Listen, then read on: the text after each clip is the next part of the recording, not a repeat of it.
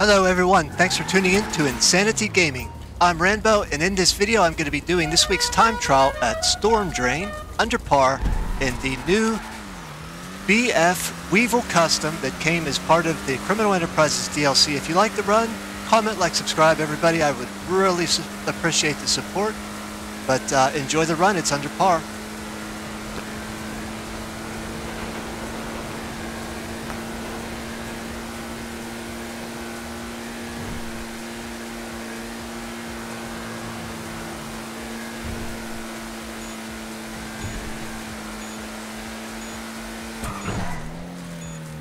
Make sure you brake for that part. That's important.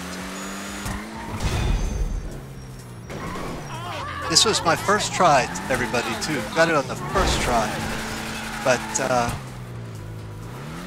I hope you enjoyed the run, everyone. Comment, like, subscribe. I will see you on the next video. Thank you for watching.